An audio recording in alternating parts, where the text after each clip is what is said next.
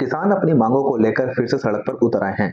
किसान संगठनों के आह्वान पर हज़ारों की तादाद में किसान ट्रैक्टर ट्रॉली के साथ दिल्ली की ओर कूच कर रहे हैं। किसानों के विरोध प्रदर्शन को देखते हुए हरियाणा, पंजाब सीमा को सील कर दिया है। किसानों की हरियाणा सीमा प्रवेश करने की इजाज़त नहीं दी जा रही है।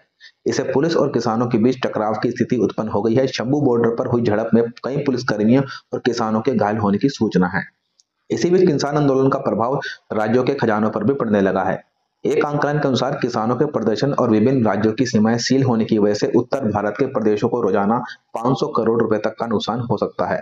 उद्योग मंडल PHD chamber of commerce and industry ने किसानों के प्रदर्शन को लेकर अपना आंकलन जारी किया है। उन्होंने शुक्रवार को बताया कि किसान आंदोलन के लंबा चलने से उत्तरी राज्यों में व्यापार और उद्योग को गंभीर नुकसान पहुँच सकता है।